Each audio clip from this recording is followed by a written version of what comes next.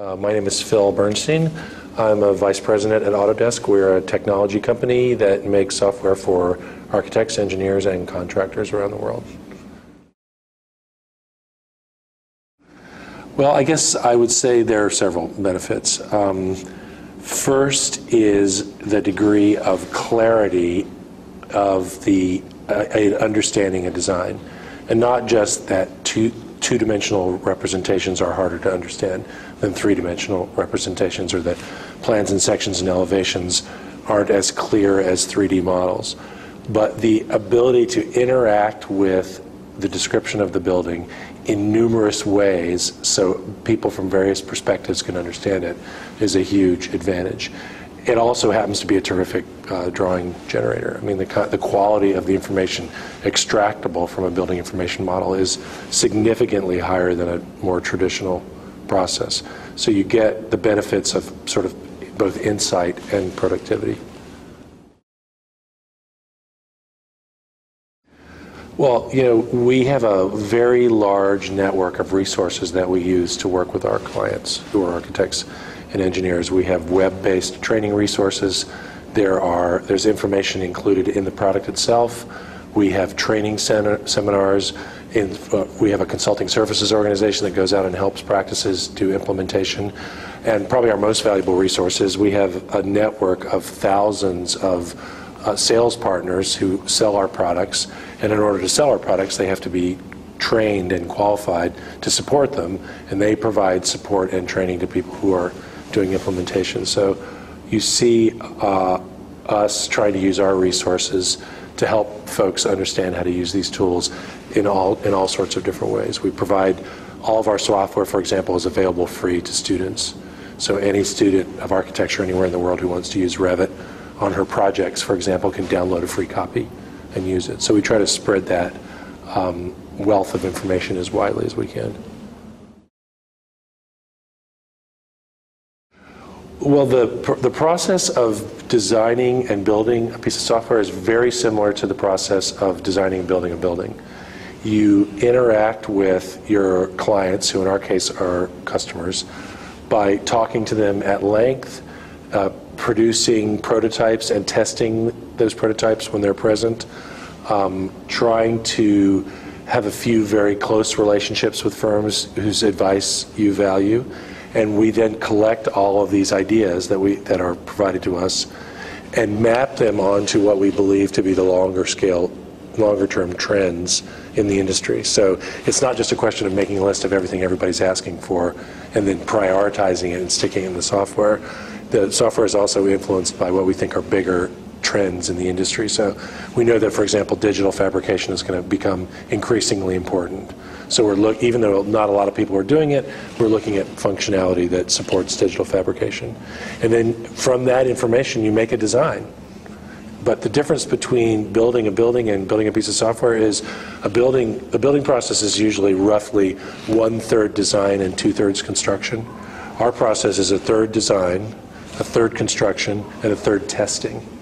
So we take a third of the amount of time that we have to do a release and we test it with users, beta users, we have thousands of them who test the product and give us immediate feedback about what they think is working and doesn't working. It doesn't work. So the process is very heavily vetted. Well, I mean, I think we do it at sort of three levels. One is we are trying to be engaged with the industry in a dialogue about important trends. So people like myself who are relatively senior and experienced in the building industry try to provide the technology business's perspective on what we see happening in the industry. So we try to be involved in that dialogue, and we do it by participating in symposia, writing papers, um, participating in industry standards boards, uh, meeting with large groups of our customers. I'm, I'm a regular speaker around the world at these sorts of things. Um, and also by demonstrating these principles in our own projects. We've recently built two of our own projects, one here in San Francisco and one in Boston, where we incorporated some of these ideas. Um, secondly, we try to support research and practices that we think are focused on these kinds of leading edge ideas. So we have relationships with firms like um, McKinstry, Sharples, Holden, and Pasquarelli, um, co- contractors like Hochtief, um, who are doing advanced things with our software to try to understand what's happening. And then finally, we put the capabilities in the software to make them available so people can do the work. So if you look at what we're doing, for example, around sustainable design, around the, uh, the acquisition of Ecotect, uh, the incorporation of Green Building Studio into our design tools, we think, think that if we make those tools available on the desktops of designers and make them easily usable, then we can make it easier for people to design sustainable buildings, and they will do so. You know, we make tools. We don't make buildings. You know, we have to be, we, we have a building industry group that I work with that supports architects and engineers and contractors. There's a whole other group that serves the manufacturing industry. They actually happen to be experts in digital fabrication. So we've been incorporating their knowledge, their tools, their methods in some of our solutions, creating relationships between their tools and our tools. So somebody could use a manufacturing tool to develop a curtain wall, for example, and then convert that curtain wall into a Revit design and put it into their Revit model. So, and the same thing is happening in our, um, we have a group that does media and entertainment. The media and entertainment group does a lot of high-end visualization and simula- simulation of stuff. So, for example, we've incorporated their daylight simulation tools for our, as part of our sustainability toolkit. Turns out when you do a rendering in 3D Studio Max, the physics of how it renders sunlight is extremely accurate. So it doesn't just make the desk surface look as if it would look with these lights coming on. You can actually extract that data and use it as part of the design process. So if your sustainable design requirements say that you have to have a certain number of foot candles on a desk surface, can, we can use our, our movie making tools to simulate that, and we're starting to incorporate those technologies in our stuff. Well, you know, the Fed, the, the, the, General Services Administration, which is the, the guys that run all the federal buildings, have been studying building information modeling for five years now. And they've been incorporating BIM requirements in their normal projects for two, um, two years, almost three years now. So the idea, and it, it just so happens that they've chosen a series of issues that they want to use building information modeling to address. The first one, prior to the green building standard, was space management. They want people to make building information models so we, they can understand how much space is in the buildings. The second one that they happen to be interested in is energy. And this happened independently of the stimulus package. So when there was a decision made to begin spending stimulus money to upgrade federal buildings around energy, it corresponded exactly with what the GSA was doing anyway. And it makes perfect sense because a building information model is a excellent mechanism for rapidly assessing the energy consumption of a building and deciding what the strategy is for making it more efficient. The other option is to go out with a bunch of tape measures, make a bunch of plans and sections and elevations, and then use a bunch of spreadsheets, which is like a 19th century approach using 20th century tools for a 21st century problem. So I, it, it makes perfect sense to me. It's completely rational, in my opinion. Well, I, I, my recommendation would be twofold, right? It, that most of the focus on the use of digital tools in the past has been about form making. It's been about making extraordinary things that you couldn't, that were too hard to make by hand.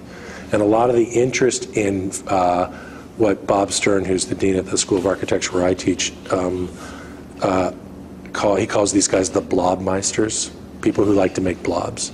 You know, Greg Lynn, Frank, these guys, the people that like blobby things. That's actually not the problem set that architects need to be focused on. It's interesting theoretically, it's interesting aesthetically and formally. It is not the core problem set. The core problem set is how to design better, more responsive, more environmentally appropriate, more precise buildings that meet clients' requirements. If that's going to happen, then students have to turn their attention to two sets of issues. One is around representational and analytical tools, and the other is around digital fabrication tools. And by representational tools, I mean tools that help you understand how a building goes together and tools that help, help you understand how it performs. Those are skills that someone is going to bring to the table. If architects don't do it, then somebody else will. And the danger is if we don't begin to understand the representational issues and the analytical issues, and at the same time begin to grasp how to use these tools to digitally fabricate buildings, someone else will figure all that out, and then all we'll be left with is the shape making. We'll become professional shape makers, and someone else will do the analysis, someone else will work out all the technical problems, someone else will work out all the digital fabrication issues, and we'll just become uh, stylists. And I think that's a real possibility if, our, if, if this generation of architects doesn't really embrace the implications of these tools.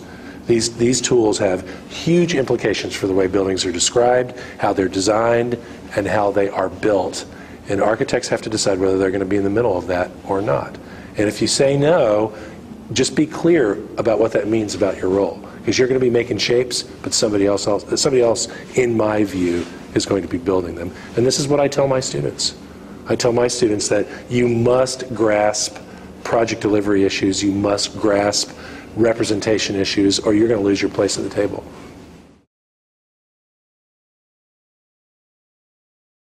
Well, there's, there's a ton of stuff out there. I mean, Google BIM and you'll get a jillion hits. Um, there are classes. Um, there are um, there's a lot of uh, material being written. Most of the professional associations are starting to do training and consciousness. This is not an optional thing. You know, I'm old enough that I saw this happen in the CAD transition.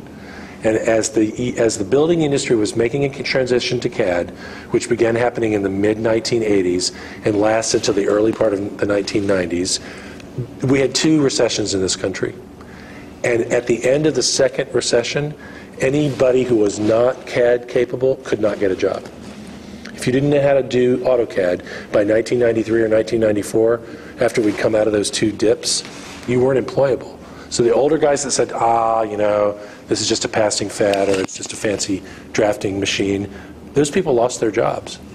And I think something similar is going to occur in the building industry around modeling that the folks that choose not to embrace it as a methodology are going to find themselves really seriously behind the curve. And so you have to seek out ways. Um, you have to seek out ways to learn how to do this stuff. You know, architects have this funny um, attitude that once they get out of school, they're kind of done. You know, it's not true. Half the people that are at this convention right now are here because they're trying to extend their skills. And in our own, even in our own work at Autodesk, the we run this thing called Autodesk University. It's a big um, training session for five days. Last year there were 8,000 people. Three years ago, when we ran our, four years ago, when we ran our first BIM training sessions, we had like 12 people. Last year there were a 1,000. It just, it's out there. It's very easy to get to. I strongly recommend that people go figure this out.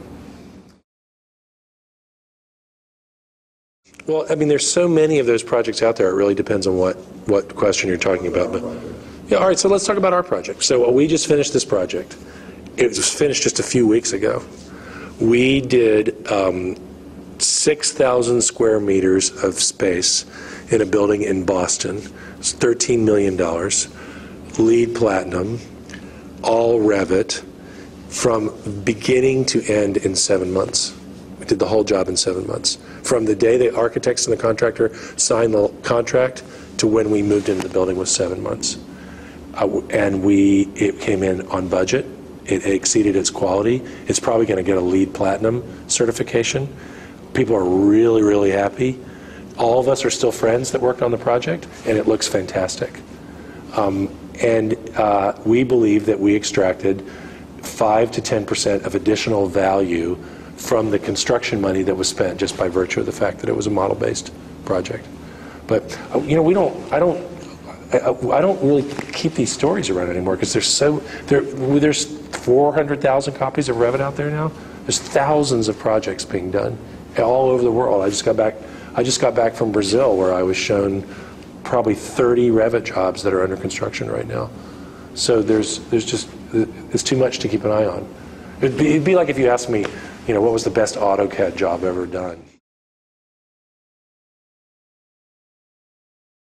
I, I'm not sure I would interpret it as we're going to focus more on the user interface to the exclusion of other things. But what we have decided is that in order to make the tool as accessible as possible and to make it usable by the maximum number of people, and to make it easier to move from one of our tools to another, we need to rationalize the interfaces.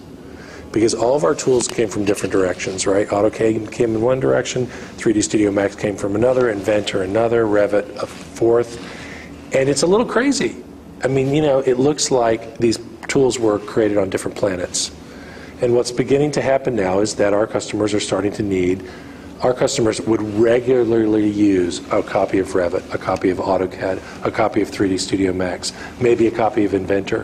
Why should they have three or four or five or six different ways to do a dimension line or rotate a 3D object in space? We're trying to make that experience more consistent, more predictable for people who are experienced users. And for the new users, you know, you don't have to, it's like, you know this term hazing, you know what hazing is? When they, when you join a fraternity and they like spank you with, with bats. You shouldn't have to go through a hazing process to learn how to use a piece of software, just because people didn't spend enough time designing the interface. You know, we're hearing a lot of feedback, both positive and negative, from our really experienced Revit users about the changes in the interface. Some are happy about it, they think it's a good idea. Others are furious because all that terrible stuff that they got so used to using is gone. It wasn't a great interface. We knew it when we started the project. We've just gotten to the point now where rather than redesign the Revit interface all by itself, you know, we sat down with the Max team, we sat down with the AutoCAD team, we sat down with the Inventor team. We all worked out a common strategy for doing an interface.